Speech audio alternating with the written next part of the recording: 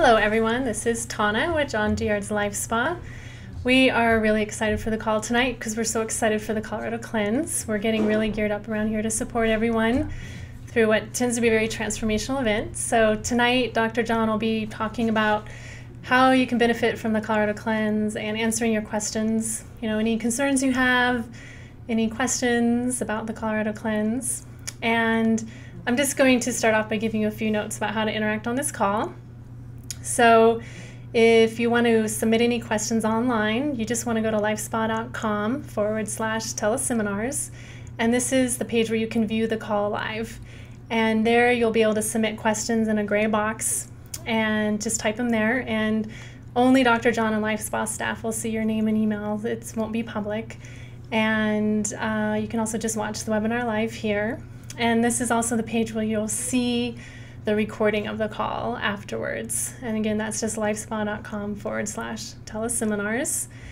And uh, just if you're watching this on the YouTube page, please don't type any questions there since no one's monitoring that and we won't see your question. So just go to the lifespa.com forward slash teleseminars. And if you want to ask questions verbally of Dr. John and have that opportunity, you can just call in and listen on your phone. And that number is 425 440 5100. And the PIN number is 124337 pound. That's 425 440 5100.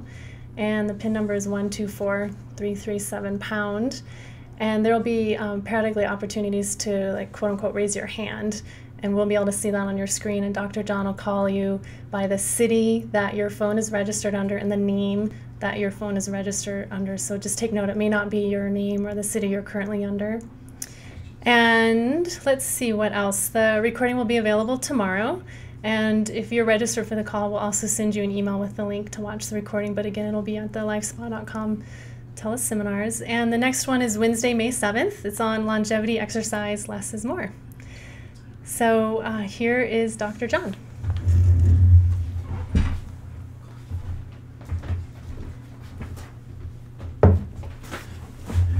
All right. Hi, everybody. Welcome to our call on the Colorado Cleanse. And um, let me get here. All right.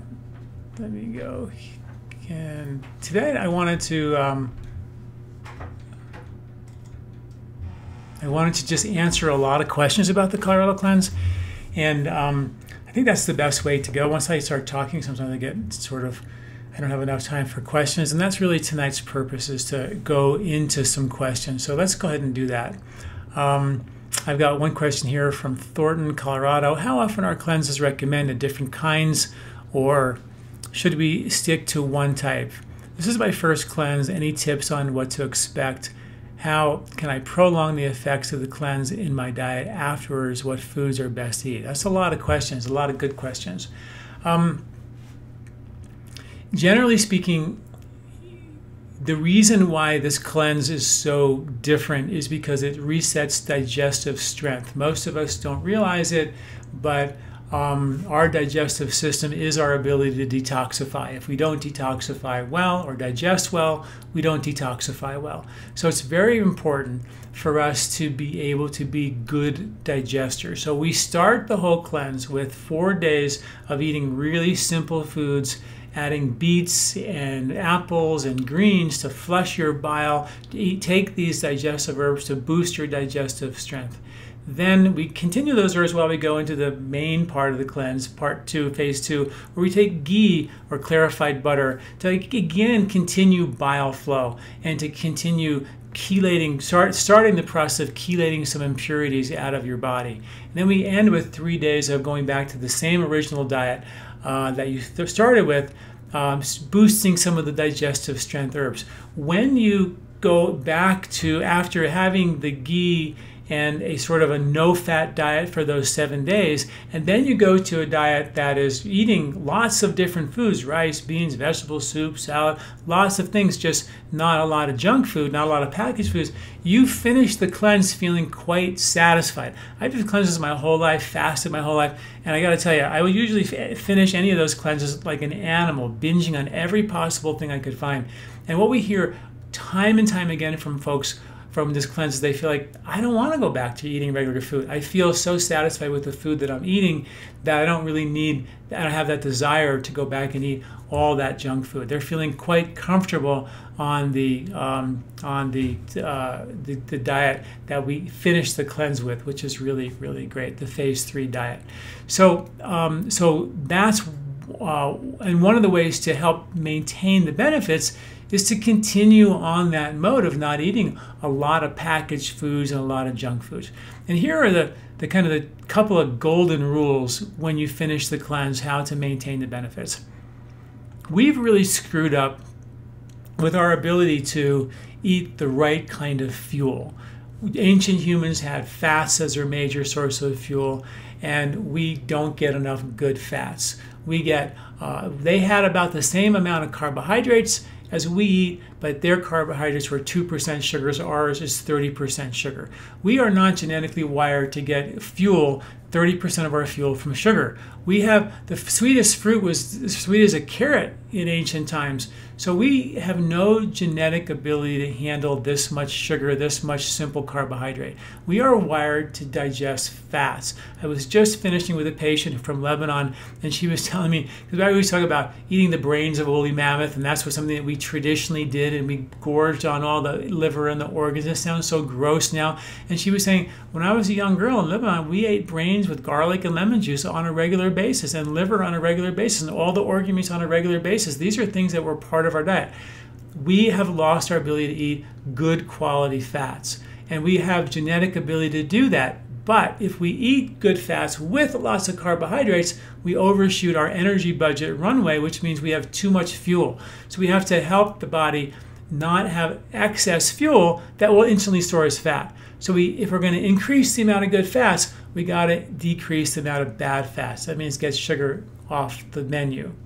And then if you're going to do that, ancient humans did move their body a lot. They had a lot of uh, um, physical activity, 10 to 15 kilometers of movement activity per day. So those are the golden rules. Increase good fats, get rid of bad fats, and those are all the cooked oils, cooked, cooked uh, sunflower, canola oils. Look at your best, most famous organic whole wheat bread and look at the label. You'll see cooked oils in them. Whole Foods organic crackers have cooked oils in them. Everything in a package generally has cooked oils in them and they got to go. So increase good fats, decrease bad fats, decrease bad carbs or sugar, and increase exercise. And that is the golden rule to keep yourself healthy when you finish the color cleanse. If you also, if you want to continue to eat less of the hard to digest foods like dairy and wheat and, and corn and soy and those things, that can be a little easier on your digestive system as you as you ramp up. When we finish this cleanse, we're in spring going into summer. You got to increase your diet, your dose of really good, easy to digest fresh fruits and vegetables. The summertime is when the digestive system is the weakest. The winter time is when the digestive system is the strongest. The heat of the winter helps increase digestive fire to cook the nuts and the seeds that are harvested in the winter. The foods in the summer, in this late spring and summer, are, har- are, are cooked on the vine. They're cooked by nature, by the sun. You eat those foods off the vine, they're already pre-cooked for you. You don't have to take foods that, to increase our digestive fire that make us hotter in an already hot season. So the idea is that the digestive system is weaker in the summer, so therefore it's very important for us to um, think about eating more fresh foods. And of course, they're all on the grocery list that you get, eating more fresh seasonal fruits during and vegetables during the summer months problem is most are eating burgers and fried food and you know barbecues and things that aren't cooked on the vine last i checked and very very difficult for us to digest so those are some strategies to keep it going let me see this was a great list of questions um, I the one question about different types of cleansing. The, one of the major things about this cleanse, which is so unique and different, is that most cleanses just go in there and take the fat and pull it out of your body and detoxify you. It's fat soluble toxins that are causing most of the problem, and they store in your fat. But the reason the body put it in your fat is because it didn't know what to do with it. The intestinal tract got congested, toxins defaulted back to your liver, your liver gets congested, and the liver goes, Oh my God, I got to get rid of this stuff. It puts it into your blood, and we store these toxins as fat in your deep tissues. And that's where they go. Now we go, Well, let's cleanse those deep tissues and pull it out. The liver put those there for a reason. And that's part of the digestive process. If you don't reset digestive strength, you're just going to pull the stuff out of your fat and probably move the toxins from one fat cell to another because your liver's going like, I put that there for a reason because I don't have the ability, the time, the capacity to digest that right now. So therefore, I'm going to just put it in storage. And if we go unstore it, now we have a problem.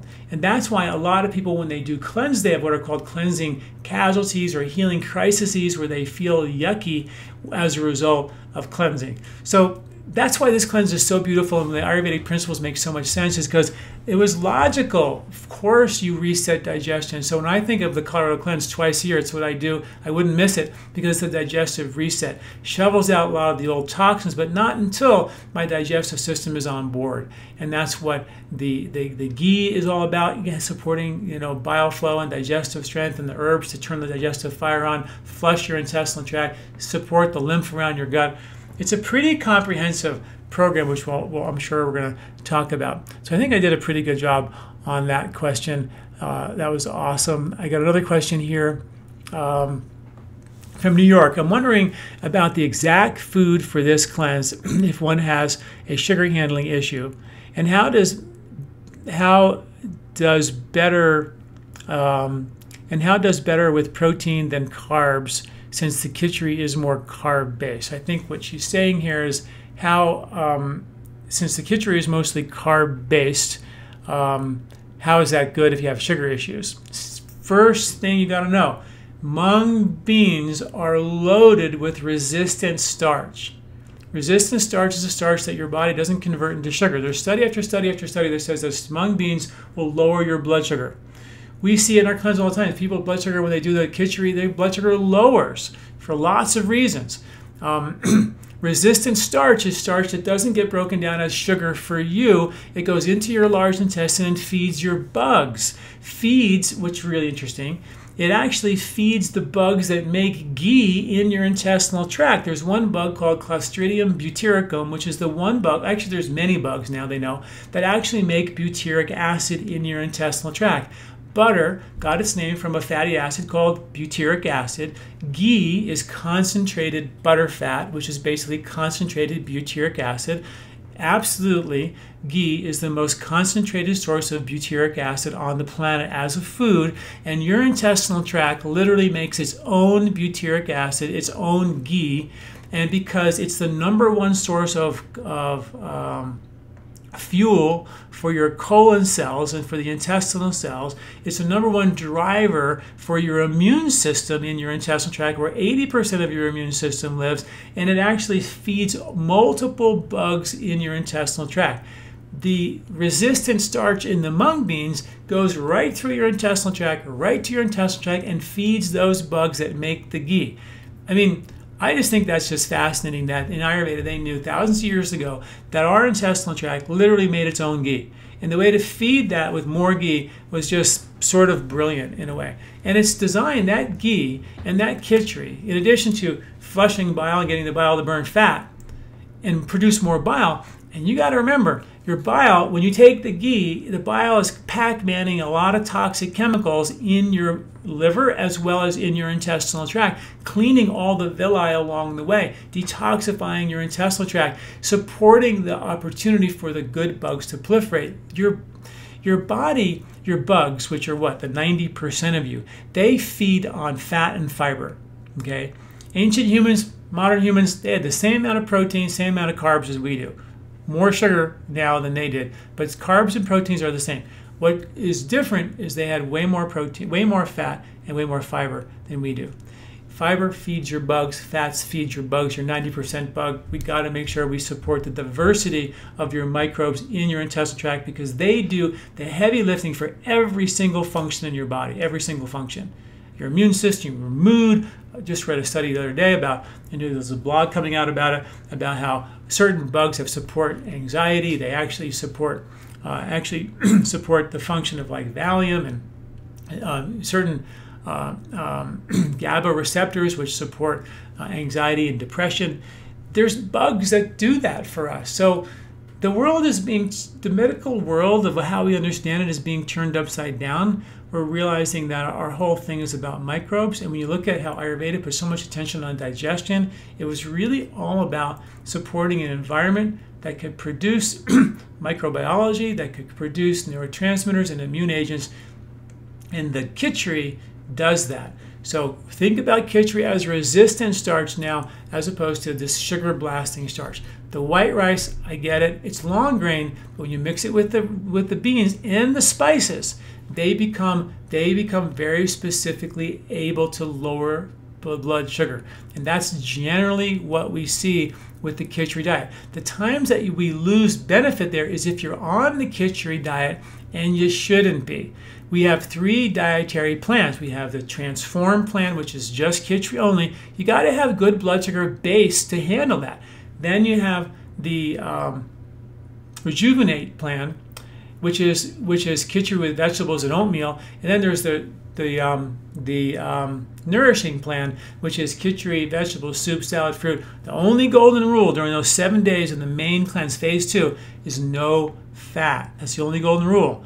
And so if you're doing khichdi only and your blood sugar is crashing, you're going to have blood sugar issues. So you have to be and we write about this in the book. We'll talk about it in the emails. The one thing that can undermine our success with this cleanse is having unstable blood sugar and being more aggressive than you should be. People thinking, I have to strain, I have to be an endurance event to make this work. It's not true. The more you strain, the more your, more your body thinks you're crazy, the more the body's going to store fat, and the less successful the cleanse will be. The more comfortable you are in this cleanse, the better the results please hear me loud and clear. The more comfortable you are, the less you strain, the better results. Better to do the, the nourishing plan with soup, salad, fruit, and vegetables, even a little bit of lean meat or a protein powder to keep your blood sugar stable is so important. And then if you're feeling really good with the, the nourishing plan, then go to the rejuvenate and then go to transform. Work your way into the austere only khichdi diet plan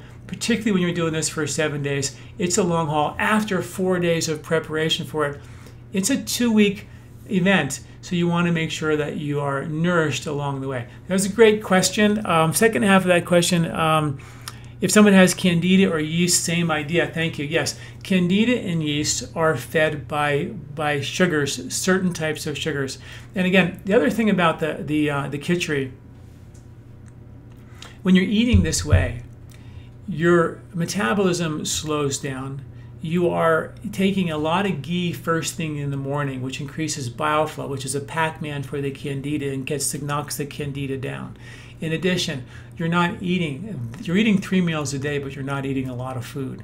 So your your calorie intake is actually you know significantly less. So you're working on less calories. So what you're actually ingesting you're using as fuel for your body for your brain for your mind. So you're using that as fuel. There isn't a lot of excess to go around for you to uh, for, for you to uh, um, you know store as fat or feed the candida or create a lot of problems. Khichdi for so many reasons was baby food in India. It was the first food a baby ate. It heals the intestinal wall, it repairs the intestinal wall, it feeds the good microbes. It's it, it you know in, in India we know that the intest the baby of an intestinal tract is completely sterile when it comes out of the mom.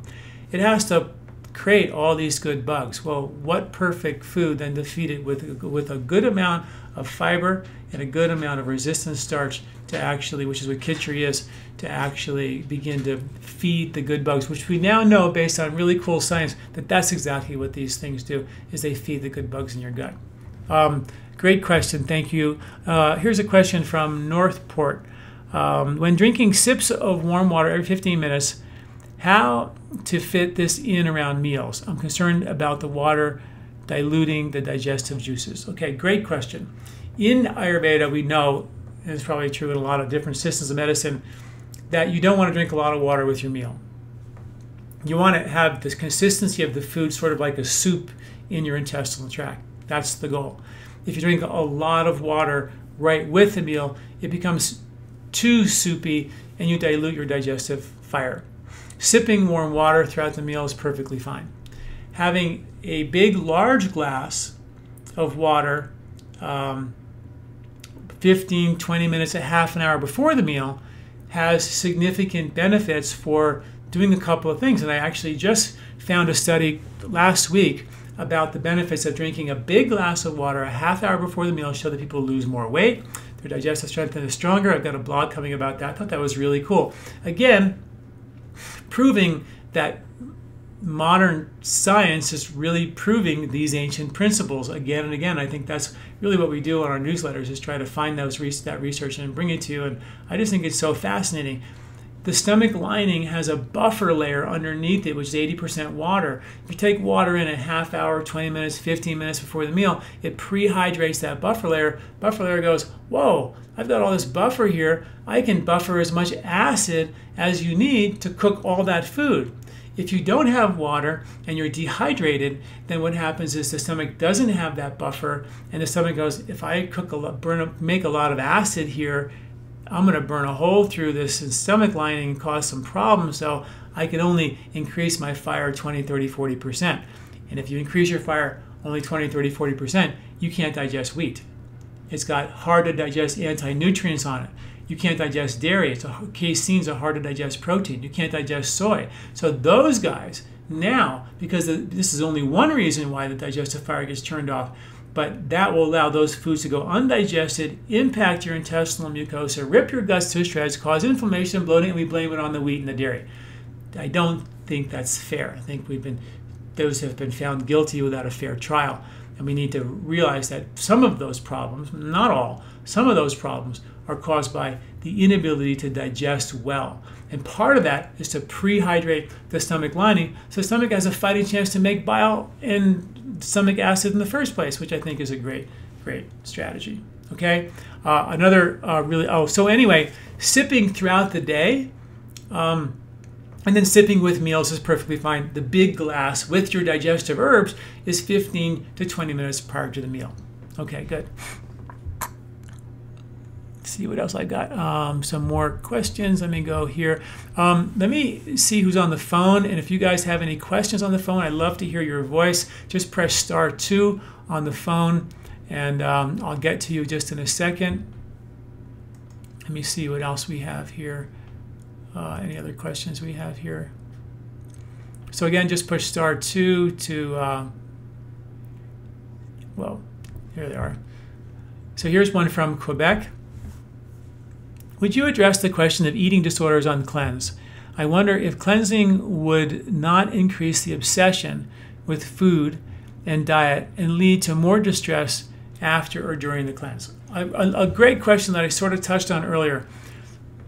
In phase three of the cleanse, when you finish the, the main part of the cleanse, where you're doing the ghee in the morning and khichdi or uh, a no-fat you know meal throughout those seven days, in the end of the cleanse, you're eating really wholesome foods. You know, you're eating you know um, vegetables and soup and salad and and you're, you're eating quite good. So most people really do feel like when they finish the cleanse, they are not craving and feeling the need to binge on that. And that's really one of my favorite parts of this cleanse is I don't have that craving binge response, which I think is a really critical piece of the puzzle.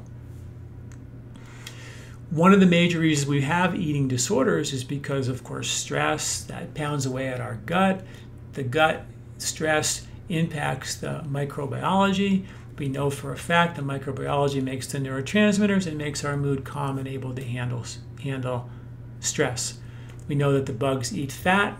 We know that we don't digest fats very well. We know that we have become lousy fat burners as a culture. That's why we eat little meals all day long. So we're feeding ourselves with sugar, which goes up and down up and down, up and down, carbs, which we know is the bad fuel. We are not getting a lot of good fats, which are the fuel that the fuel that we actually need to eat.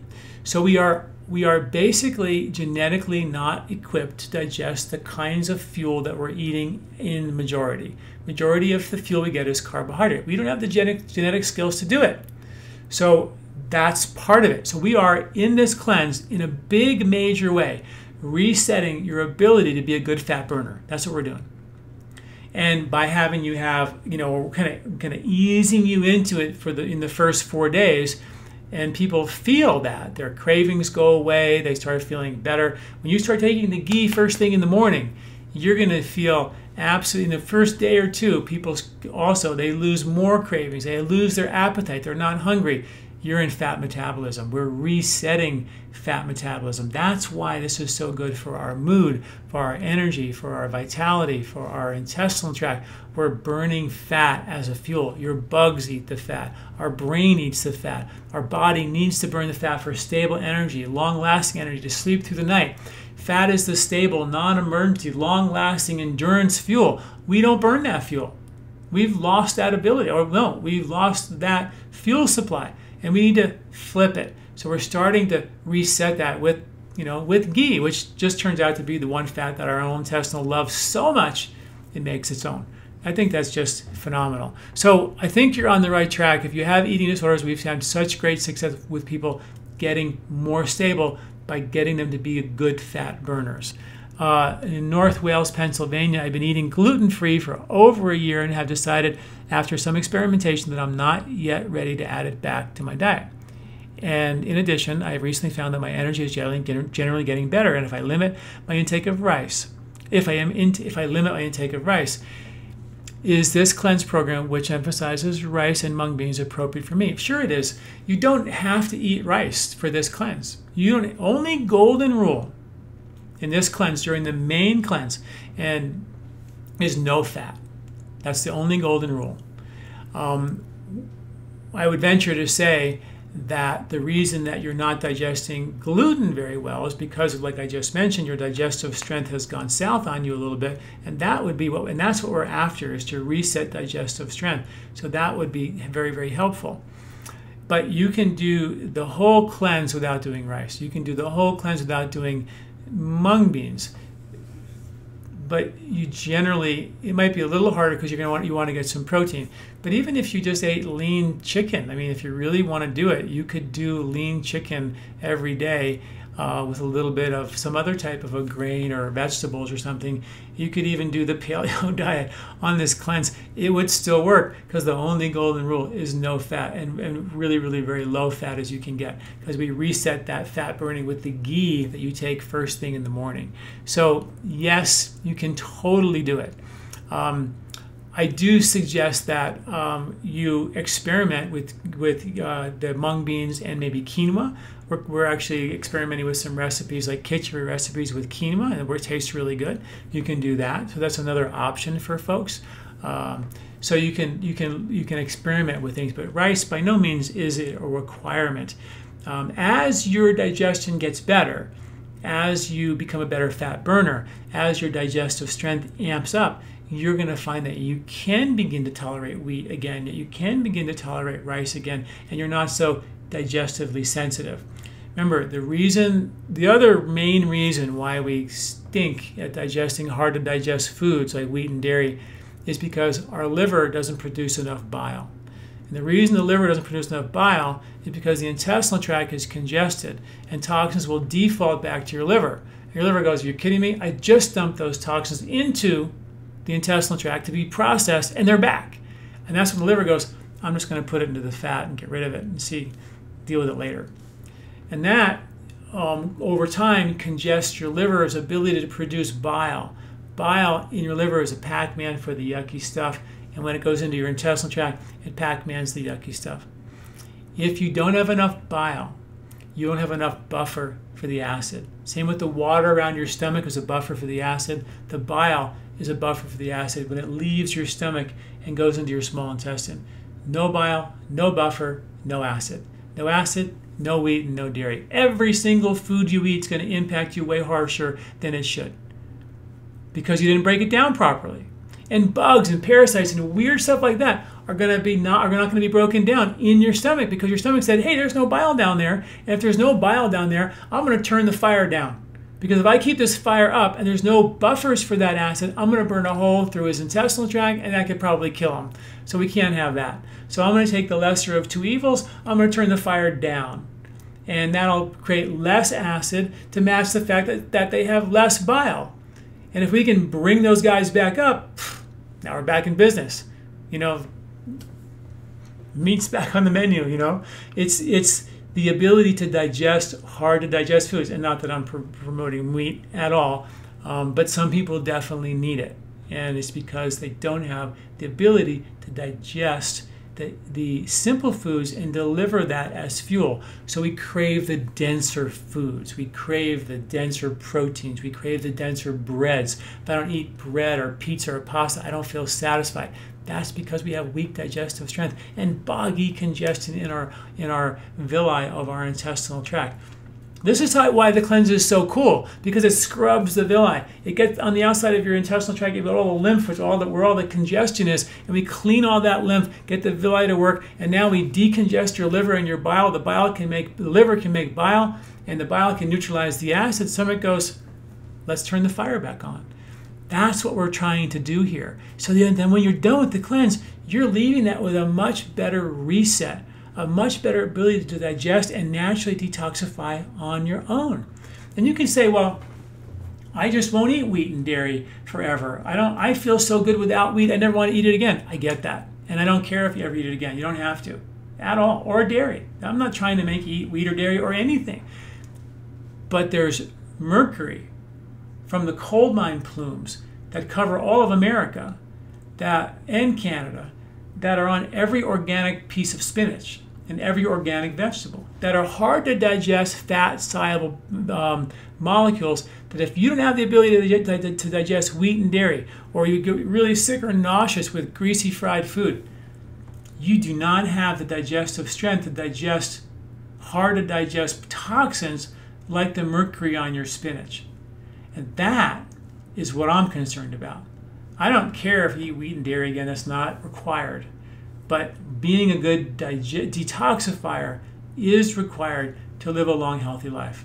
Because we have this mercury, it goes into your fat, it can spill over into your brain, it can affect your cognitive function down the road. And those are real issues that may not be on your plate or on your radar today, but 10, 20, 30, 40 years from now, when you're in your 50s and 60s and 70s and 80s, they will be on your radar. Your cognitive function will be on your radar. Your joint elasticity and youthfulness will be on your radar. And that, I really believe, takes place years prior. That's why we're so passionate about the Colorado Cleanse, because it really, in my mind, isn't just a shovel it out, feel better for two week plan. It's a reset for the long haul. And, and I, I, I truly believe that. And I, we see that with our clients, and that's why I think this cleanse is so awesome. Um, so I have more questions. That was a great question. You guys are. Um, let me go to the to the phones here. See who's on the phone. Um, star two if you guys have any questions. And, okay, I have tons of written ones here. Um, from Berkeley, I'm not looking into losing any weight, but rather work on my digestive system and the cleanse. Is this cleanse for me? Yeah, absolutely. Because you, we have three dietary plans: the the transform, the regenerate, and the rejuvenate, and the nourishing plan. You definitely eat off the nourishing plan. You don't have when you're you know, and also you can take the herbs just once a day, but take them for a longer period of time, and that'll kind of dial down some of the cleansing intensity a little bit. But you still can you know, support the digestive reset in a real big way um, and that's what you can do. And and um, also during the cleanse, you can um, you can uh, have a little more protein powder, or even a little bit a little bit of protein powder, or a little bit of lean meat is sometimes you know nice to have to support the, the calorie intake that you need to not lose any extra weight. It's a very, very common thing, and if you do it right, you can definitely gain um, the benefits. Um, from St. Michael's, You've indicated in your literature that it's important to prepare the liver in advance of the cleanse. What do you do to prepare the liver in advance of commencing the cleanse? Oh, first of all, we start with four days, the, the phase one of the cleanse. We start by having you have a lot of fresh, whole vegetables, no processed foods. Your liver can't stand cooked oils. Your liver can't stand processed foods. It doesn't know what to do with all the oils on the grocery store shelves that are in those plastic clear containers. Your liver doesn't even know what to do with that. It just layers congestion into your liver. Number two, we have a beet every day. We have apples after the meals, and we have green smoothie. Those are all designed for your liver to prepare your liver so it gets happy and says, Yeah, I'm open for business. I can start pulling some of the yuck out of the stored fat cells. That's important. Uh, those things. Plus, we give you herbs. We give you turmeric, which is a fantastic bile mover and liver anti-inflammatory agent. We give you an herb called liver repair, which repairs and supports the function of your liver. We give you an herb called beet cleanse, which cleans out the bile ducts of your liver really well. And then the warm digestive helps really turn on the dig- or the cool digest to turn on the digestive fire. Also, you, we give you an herb called uh, Manjistha, which is a great herb for your liver. I primarily kind of coin it as our lymphatic herb, but it's also fantastic for your liver as well. But it's a big lymphatic mover, that's how I look at it. And then, of course, there's the Regenerate herb, which is for blood sugar and stability, and it's a chelator. It pulls toxins. It's a detoxifier. So that's all in the first four days that does that. And then the next seven days are when you take the ghee. The ghee is a big time liver flush because it forces your bile to flush. And that's one of the reasons what we're trying to do is get that bile to move. Going back for a second to the uh, hunter gatherers, um, is that we, we know now from Western science that 94% of the bile that goes from your liver to your intestinal tract, from your intestinal tract back to your liver, 94% of that bile goes back to your liver. Now remember, the bile is a Pac-Man, Pac-Manning toxic chemicals, cholesterols, heavy metals, loaded with a bunch of backpacks dumped into your small intestine where it continues to Pac-Man a whole bunch of yucky stuff. 94% of that bile goes back to your liver and, and deposits all that toxic stuff into your bloodstream, into your arteries, into your fat, into your brain. That's unacceptable. If you don't have enough fiber in your diet, 94%, and that's a textbook fact from Guyton's physiology textbook. That's what a regular American person does with 20% fiber in their diet. Hunter gatherers got 100 grams of fiber in their diet, five times as much as us. That fiber attaches to the bile and takes it to the toilet. Now, if you don't have enough fiber in your diet, 94% of that bile is back in your liver. Your liver is going, oh, you got to be kidding me. Why are you here? You, I just got rid of you and now it's back.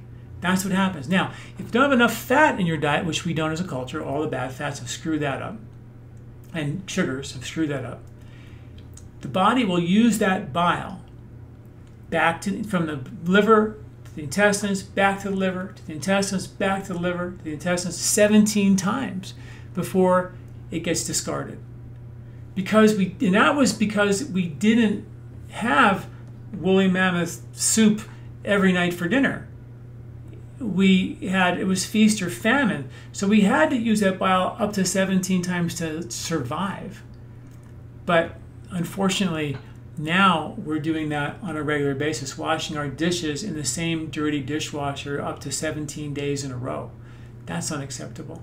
So that's um, that's a really important i'm going to go back to trying to think why i'm answering this question. Oh it was all about the liver. Um, what's what, why are we how are we preparing the liver um, and because so when you do the bile when you do the ghee in the morning you're forcing that bile to flow feeding the liver with the fuel that it needs to make bile with and we don't make enough bile bottom line that's why people can get their gallbladders taken out I had a patient today, had her gallbladder taken out. Absolutely no difference in her diet. She didn't feel any different. Not one iota of a difference did she feel. Didn't feel better, didn't feel worse. It felt exactly the same as before. That's a problem. Because, because our gallbladder should be a requirement. If we ate the kind of fast we were designed and genetically wired to eat, we don't. And, and so with the, with the ghee, is forcing that bile to flow. It's feeding your gut with good microbe food that we know is fact now. We know it also, it actually is lipophilic. The ghee pulls toxins, and we have studies to back that up from the Panchakarma research that we did. Um, I didn't do it, but it's been done. But you can read about it on my site. Um, so just all kinds of things for the liver. It's so much about the liver and the lymph and the quality of your intestinal villi and of course, turning on your digestion. And we haven't even mentioned blood sugar yet, uh, which is another big piece of the puzzle.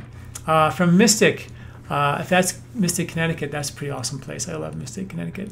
Um, I have had issues with small bacterial overgrowth and was interested in the cleanse. Would it be appropriate to have tried to completely eliminate grains as suggested? But many nutritionists say uh, uh, that suggested by many nutritionists, and uh, it hasn't really worked for me. You know, for many years, when I first got into practice in 1984, um, we were all about killing candida, killing parasites. We killed everything. That was like in. And uh, unfortunately, it didn't work. Uh, these bugs are really they, they they multiply some of these bugs a million times in eight hours. So I mean, if you kill them, they're just going to figure out what you tried to kill them with and come back with something stronger, better better armor. They become resistant, and just we just it's not the way to go. We need to support the body's ability to take care of business by helping the body be a better digester, having better digestive acid, better bile flow, which is your Pac-Man to get rid of those little bugs. And yeah, take the hard to digest foods out of your diet for a while, like the like the wheat and the dairy, and yeah, for sure they're hard to digest. We take those out during the phase one of our cleanse and phase three of our through the whole cleanse. We take those out because they're hard to digest. But that's not the final answer. Final answer is to be a better digester therefore a better detoxifier. So I would suggest that that for you, absolutely. Now, if there are any foods like rice is like ah taboo and it makes you feel yucky, then like I said, you don't have to use rice in this cleanse. You can get around that with quinoa and other strategies, absolutely. But as you become a better digester, you're going to find, and we find that people one time they could only do the nourishing diet plan, then they do the rejuvenate diet plan, and then they can do the the the khichdi only or the transform plan. They work their way to being really good digesters, and that's really key with regard to blood sugar. And that's one of the biggest factors. Our blood sugar is unstable. We need sugar because our brain's hooked on it. And that sugar not only makes our brain happy, but it makes our bugs, the bad bugs, proliferate. And the good bugs feed on fat and fiber. The bad bugs love sugar. Wouldn't you know it, right? I think in heaven, though, I heard that there's uh, lots of sugar there and it's free. And it's all good there. So we have to wait. I don't know. But because um, it's sort of a bummer that we have this thing called sugar, which is so tasty, but it's actually killing us. It is the number one poison on our planet. The number one cause of every chronic disease on our planet is linked back to blood sugar. It's really sad, but it's really true. Um, Morgan Hill, how do uh, how important it is to use the cool or warm digest? The cool digest is for people who have tendency for a heartburn. The warm digestive people have just regular digestion. It's very important to use those herbs, or we give alternatives in the book if you want to use other strategies for that. But you want to, you don't want to do this cleanse and miss the boat of turning the digestive fire on. That's like the whole thing. We do it with the water before the meal. We do it by increasing bile flow, and then the stomach goes, oh, there's bile there. I can make more acid now that there's a buffer in place. That's great. But we want to boost the digestive fire with the warm digest boost the uh, the um, um, bile flow with the beet cleanse, decongest the bile duct. There's another herb called sugar destroyer, which cleans out the, the pancreatic duct, which is another buffer for the acid, another really important for our digestive enzyme flow. So all those three up work together. The warm digest or cool digest, beet cleanse, sugar destroyer support the upper triad of digestive function. Digestive fire, for the proteins and for the bad bugs to get rid of them, and the toxins, the beet cleanse for the bile flow and the liver function, and the sugar destroyer for blood sugar support, pancreatic function, and digestive enzymes. You get those three guys working in concert, good things are going to happen down below, really good things. Then after the meal, we give you the turmeric, the liver repair, the manjistha, and the rejuvenate. All those after the meal act as a sweep to support the whole digestive process. Um, so it's a pretty pretty good plan. And um, so yeah, the warm digest and the digestive support is important because the whole point of this is to reset digestive function. And at the end, the, in the phase three, we boost the, the, dose of the beet cleanse and the warm digest to get the digestive turned on as well. Okay. Um, I am in the beginning stages of menopause and experience severe headaches in the afternoon that get worse at night. As the night goes on, and also wake up with night sweats at 5 a.m. What can I do during the cleanse to remedy these symptoms? Um, great question. What I have found is that the number one cause of hot flashes or night sweats is one of two things.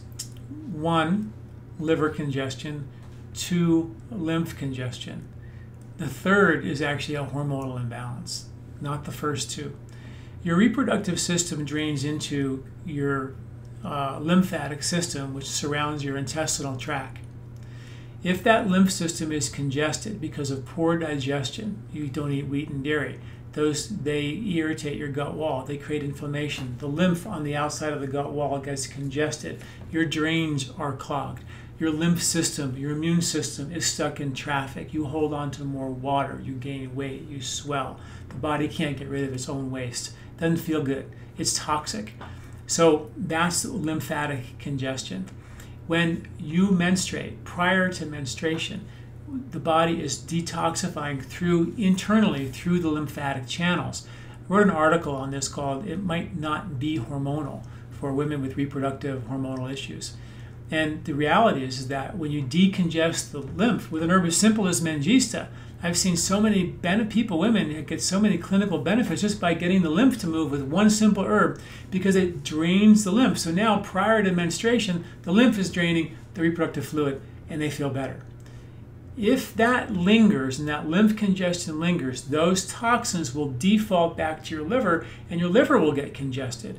Now, your liver, when it gets congested, doesn't produce adequate bile. The liver, when it gets congested, now your, your, your reproductive system is defaulting those toxins that should be going through your lymphatic system back to your liver.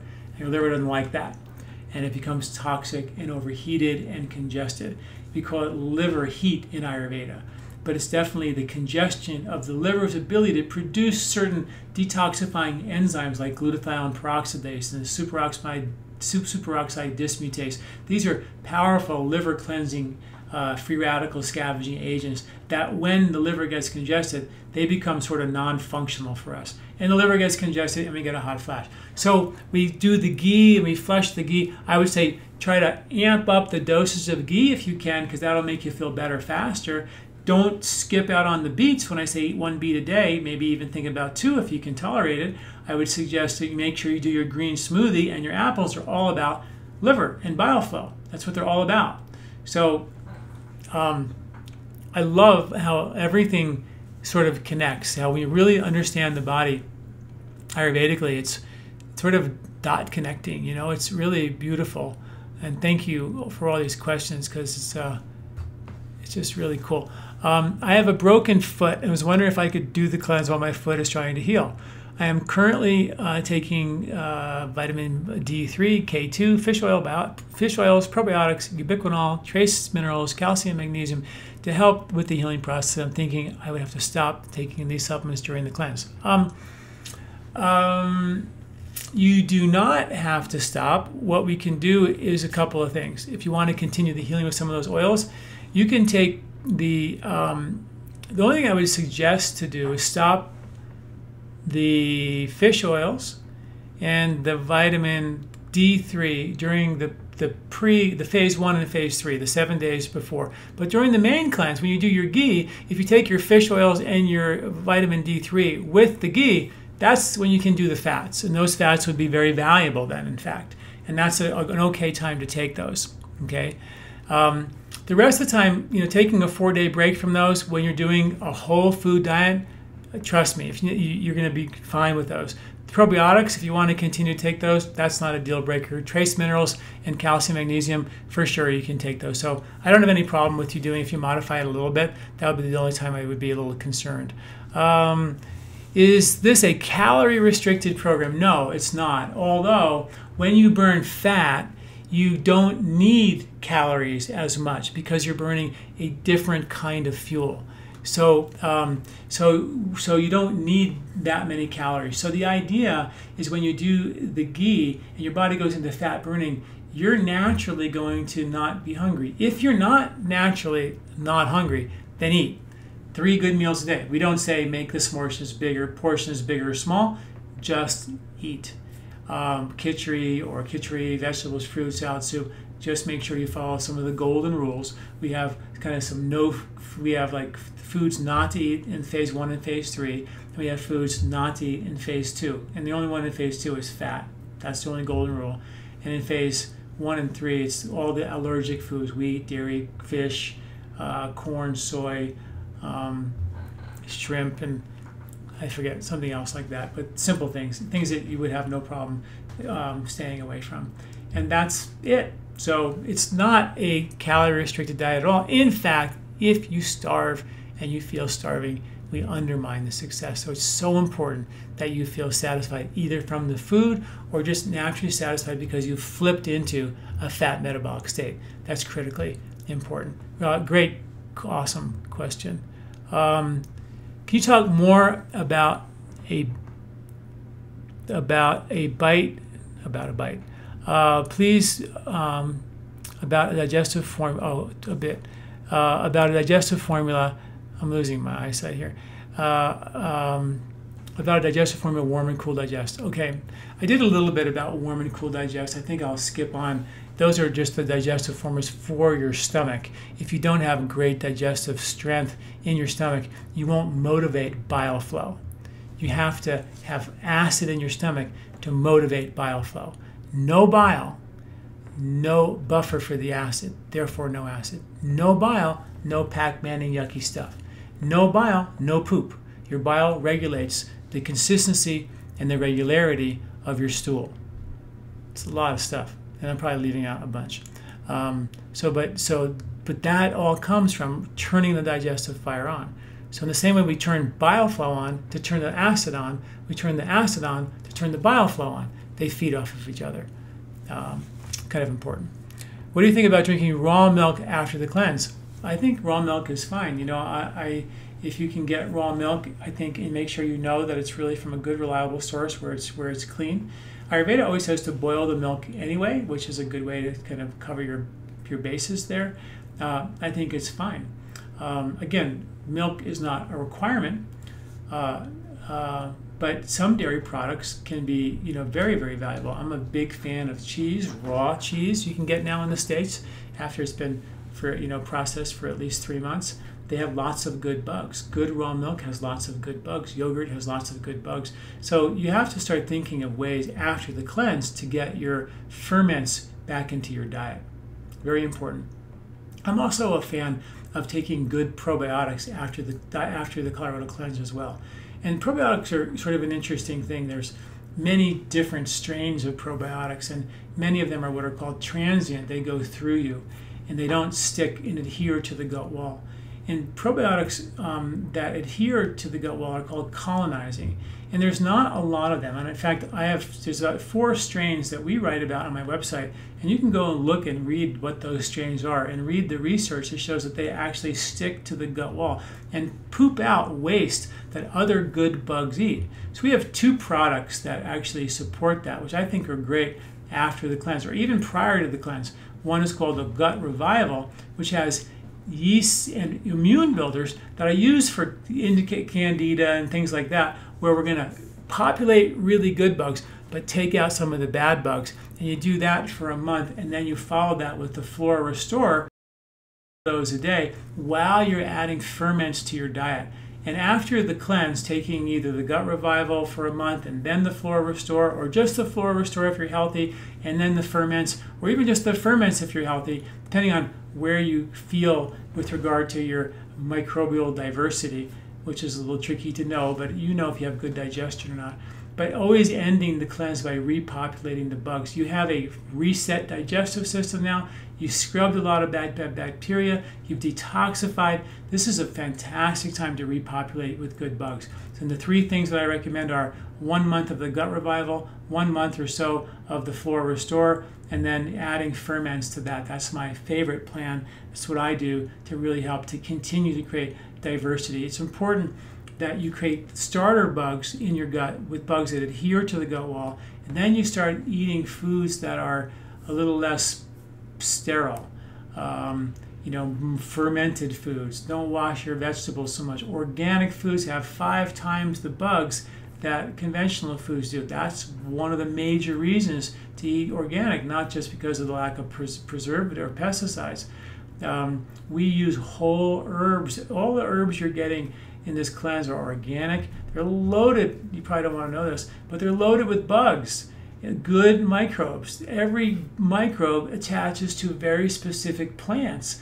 And those plants provide diversity to our microbiology. That's how it works. No good bugs, no good diversity. If you take extracted herbs, for example, they just basically kill all the bugs. And they work great from a perspective of, you know, medicine, medicines, but they're not restoring microbiology and they are so critically important. So just, you know, understand you know another level of why we are always wanting to eat eat healthy and then go from there.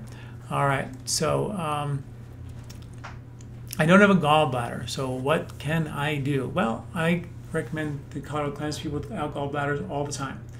When you don't have a gallbladder like the lady today who had a, a patient of mine she didn't have a gallbladder. And when she got the gallbladder taken out she said it made no difference. She felt as yucky after as she did before. It made no difference. I said, well, the problem clearly, obviously, wasn't in your gallbladder.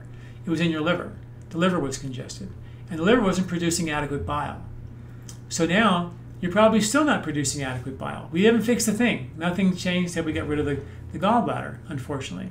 So when you don't have a gallbladder, you want to encourage your gallbladder, your liver's ability to make bile on demand. That's how it works. Now, and, and, if you don't have a gallbladder, I need to let you guys know this is not the end of the world. The, the, the gallbladder is loaded with bile that's 15 times concentrated bile. 15 times concentrated. It's for woolly mammoth brains and woolly mammoth livers. It's for eating all that in one huge sitting. And then we don't eat another fat for days while the bile is being replenished. We don't have to eat that way we can eat good fats along the way. I don't think it's a requirement to pig out on a woolly mammoth brain to support your your liver function. So if you don't have a bile, a gallbladder, you're obviously not going to be able to handle huge amounts of fats in one in one sitting. But you have to nudge it a little bit every day to continue to make it flow. And once in a while, like with the cleanse, we nudge it a little bit harder. We're taking we amp up the doses of the ghee. I always say start with just one teaspoon, see how you do. Go up to teaspoons, see how you do. Generally, I say with people without a gallbladder, stay at two teaspoons of, of ghee throughout the cleanse. But if you're feeling really good and it doesn't, and you're having no issues at all, then for sure, see if you can take it up a little bit longer, a little bit more, because that ghee will force more bile on demand, decongest the bile, and give you some of the, the fats that your liver needs to help replenish some of the bile stores. Um, uh, a great question. Thanks. I'm glad that came up. In Nyack, given that we are people of various size, weights, ethnicities, uh, how is it the two-week cleanse detoxifies the same way, at the same pace for each of us? My digestive system is significantly more sensitive than that of a lot of other people. Your two-week Colorado cleanse is a one-size-fits-all. Not really. When you read the Colorado cleanse, it's not a one-size-fits-all. We have all kinds of ways to turn up or turn down the volume of the cleanse, for sure there's we talk about in the right in the beginning of the book it talks about if you have a sensitive system you lower the dose of the herbs you lower the dose of the ghee. We have three dietary plans the the the, the khichdi only the the the, uh, the rejuvenate plan the nourishing plan. Many ways to to to dial up and tailor make the cleanse for you. So it by no means is this a one size fits all cleanse.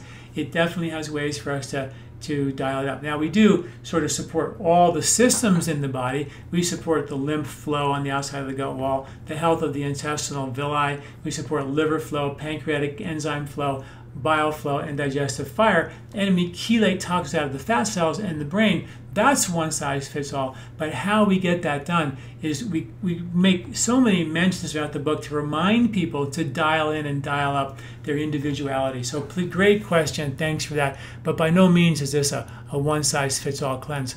Um, will I be able to work on my regular job? Absolutely. This cleanse, we all here at LifeSpa, we all work during every Colorado cleanse. I go and give lectures. I travel. I uh, like like last year I was in I don't know where I was, but I wasn't here lecturing while I was on the cleanse, and it just sort of makes you have to think it through a little bit. And and you know you're on the road traveling and lecturing, but I lecture, which takes a lot of energy, and I do it on the cleanse, and so it's designed to be done as part of your workday, as part of your regular routine. We do have the retreat track, which is where you can actually, you know, just really uh, um, go on the cleanse and do the yoga and the breathing and the meditation and the retreat and the Ayurvedic massage. And we have that available to you. So if you have that time, but by no means is that for everyone. This cleanse is designed for people during their work program, for sure. Absolutely. Another great question. Namaste. Are you familiar with the GAPS diet? Um, a little bit uh, about healing and sealing the gut, and if so, do you think the Colorado Cleanse would be a good transition from the regular GAPS diet? I absolutely do. I mean, you know, the whole point of understanding the microbiology and then the GAPS diet being a support system for that is really all about um, healing and sealing your intestinal tract, like we talked about with the ghee and the khichdi and the no-fat diet, and I mean it's and all the herbs we're using to repair and seal, and the microbi the, the probiotics afterwards, as we mentioned. I think it's extremely valuable because what we're trying to do is reset function so you can not be dependent on pills or powders, not be dependent on different types of diet, and have some latitude in terms of your digestive strength. Doesn't mean you go back and eat a bunch of sugar. I mean, I think sugar, unfortunately, is just something that we really have to limit or even avoid. And uh, and there's been toxic oils and cooked oils. I think you have to limit or avoid them even at, at greater cost. I think it's really important that those two guys are understood and on your radar and not in your diet. Those are the things that are taking Americans out. Fats, cooked fats, bad fats, processed oils, and sugar. Those are the bad guys. Um, all right, let's see another question. Someone with a recent bout of hyperthyroid Graves' disease, non-treated, uh, treated only through diet and herbs, feeling much better now, but flushes the heat and insomnia, but only flushes of heat and insomnia now. How might this cleanse affect me? Well, I should tell you a, a, quick story if I have time. Do I have time? Do we have time? Um, are we out of time? Has we been an hour? Okay, so I'm going to tell you this quick story and wrap it up. It's a great story, though, and we'll end on this note. So I had a woman who she came for panchakarma, and uh, this is an important, a really great point to end on, I think. and she um, had Graves' disease, hyperthyroid. Goiter was out to here. Her neck was about the size of a grapefruit. And uh, we talked with a medical doctor, and we worked with him to get her. And she wanted to do panchakarma, our detox, which sort of is like home Colorado Cleanse in a way. Um, very similar. We kind of designed the I designed the Colorado Cleanse to be sort of a home panchakarma, if you if you will.